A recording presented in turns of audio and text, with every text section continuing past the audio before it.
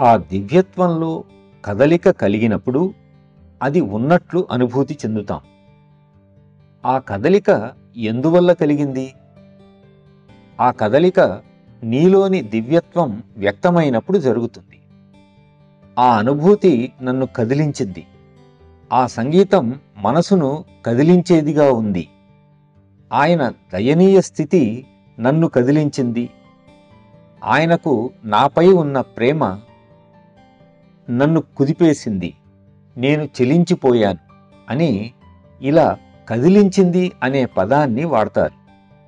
ఇందులో కదల్చబడింది ఏమిటి? అది హృదయంలోని దివ్యత్వం యొక్క కదలిక మాత్రమే. క్షణకాలం కార్యరూపంలోకి వచ్చింది. అది మన బాబూజీ గారు చెప్పిన క్షోభ్ లాంటిదే.